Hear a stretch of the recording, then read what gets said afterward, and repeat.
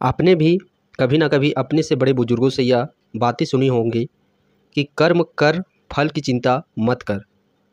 जी ही यदि आप फल की चिंता करने लगते हैं तो आपके मन में ख्याली पुलाव बनने प्रारंभ हो जाते हैं। और ख्याली पुलाव बनने प्रारंभ हो जाने के कारण कहीं ना कहीं आप कर्म में कटौती कर देती हैं।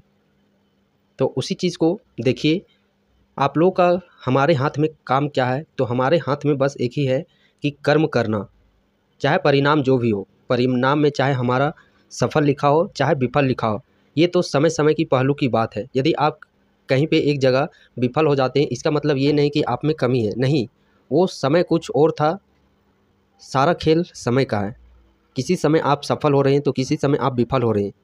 यदि आप विफल होते हैं तो अपने आप को कम नहीं आंकना है कि मेरे अंदर में वो क्षमता नहीं है, इस चीज़ की, वो चीज़ की। तो उससे आप लोगों को अपने आप को आंकना नहीं है। और हाँ अभी की यदि हम लोग बात करते हैं, और ये मेरी नैतिक ज़िम्मेदारी भी बनती है कहीं ना कहीं, आप लोगों को जिस प्रकार से जो भी पढ़ाई लिखाई की चीज़, वो तो बातें बातें होते रहेंगी, वो तो आप अपने से भी पढ़ सकते हैं।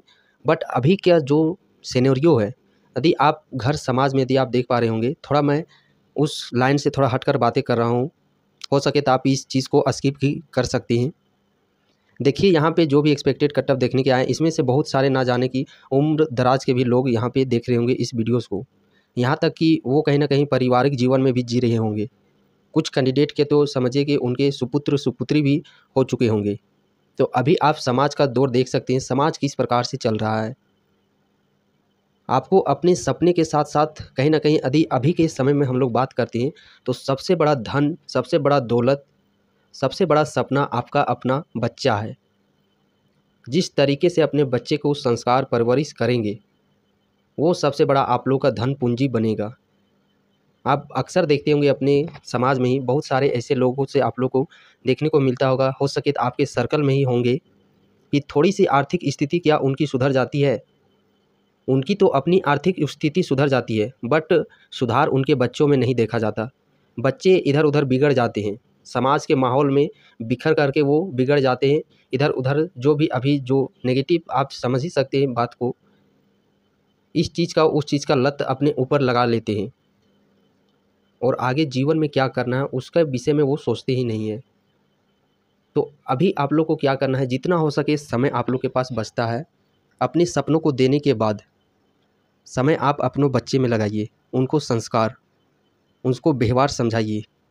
क्योंकि वही आगे बढ़ कर के आप लोगों के जो भी धन संपत्ति है, पूंजी है, उसको संभालेंगे।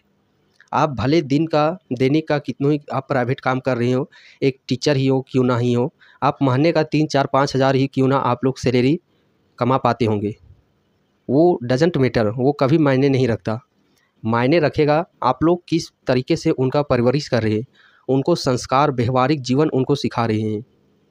वो सबसे बड़ी अहमियत चीज़ें रखती है। सो हेलो एवरीवन जैसे गुरुकुल के सभी मेंबर वासियों की तरफ़ से आप सभी को जोहार, अभिनंदन व्यक्त करते हैं।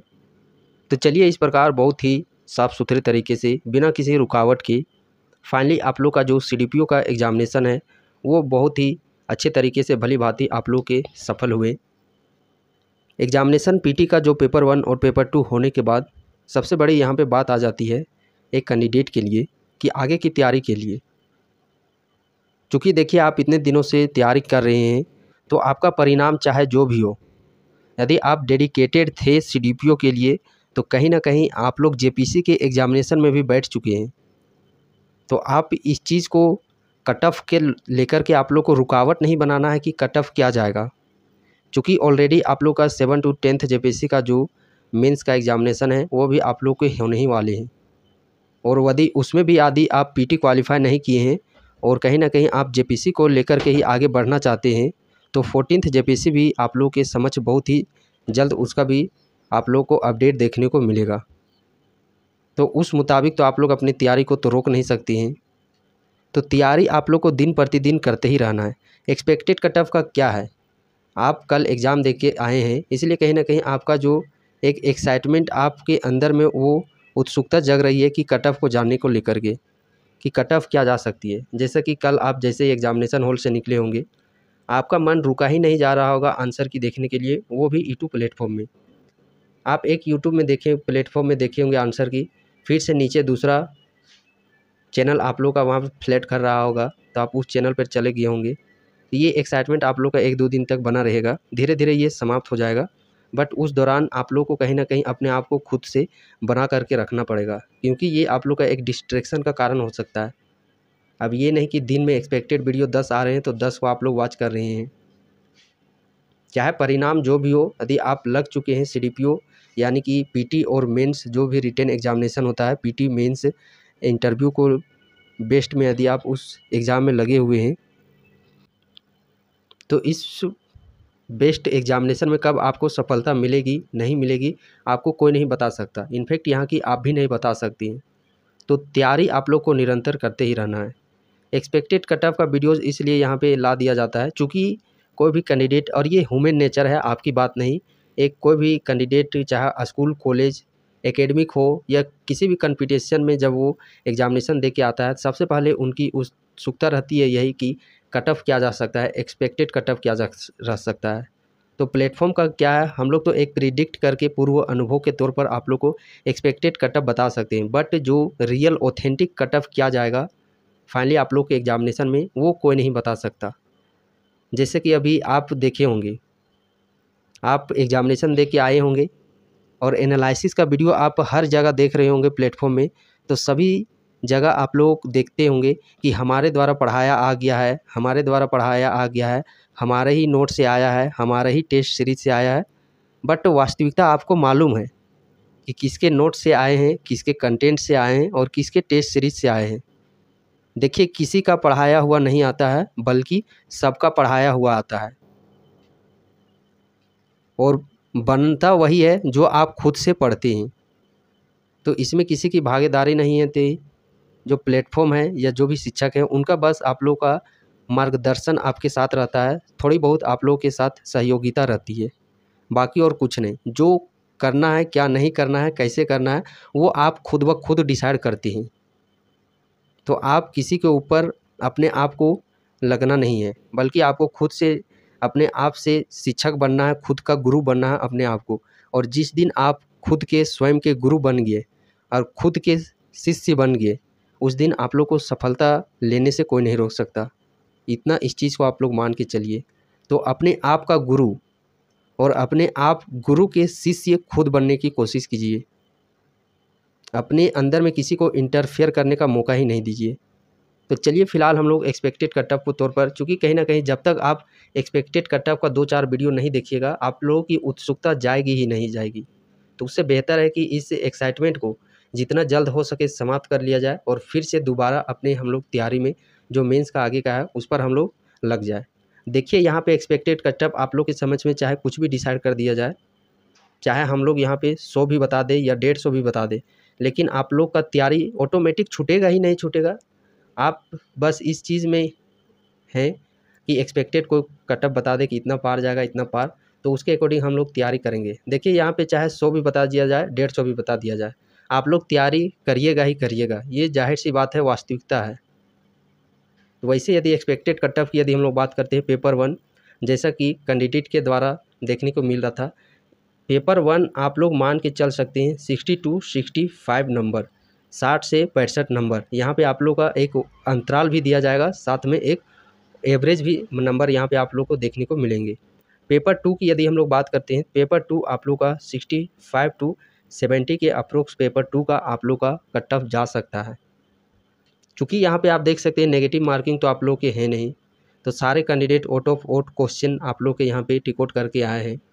But out of out tick करने से नहीं हो जाता है।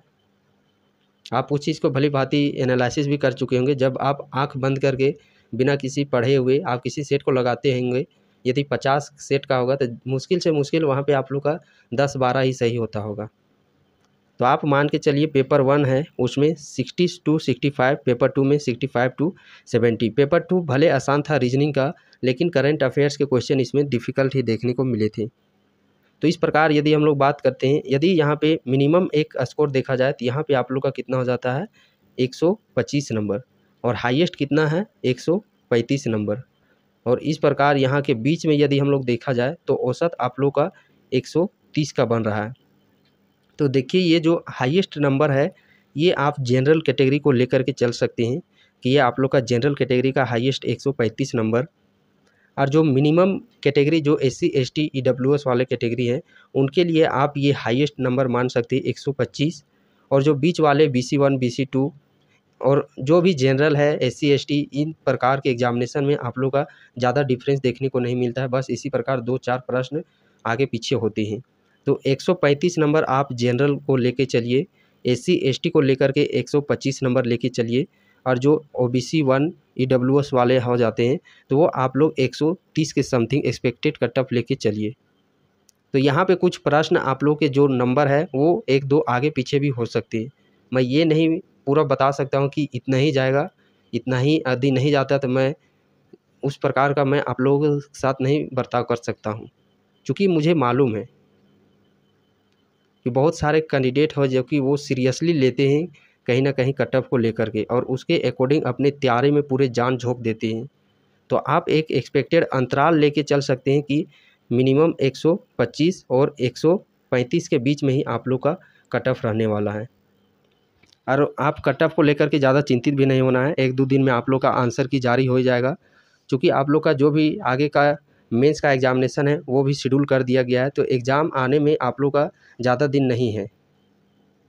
आप क्या कीजिएगा? मान लिया जाए, यदि एक्सपेक्टेड यदि आपका एक सौ दस ही नंबर बन पा रहा है, मान लिया जाए आपका एक सौ दस नंबर ही बन पा रहा है और आप क्वालिफाई कर जाएँगे तो उस केस में भी आप क्या कीजिएगा फिर बताइए।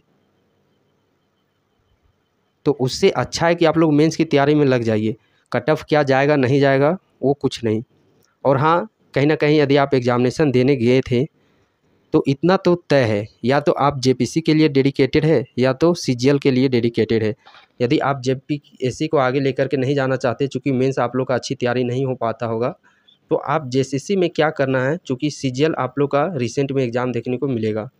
और सीजीएल में अच्छी खासी वैकेंसी है बीस पच्चीस और जो आप एग्ज़ाम दे के आए हैं, उसमें मात्र है आप लोग का चौंसठ वैकेंसी कितना गुना है, सो आप यहाँ पे देख सकते हैं, अंदाज़ा लगा सकते हैं।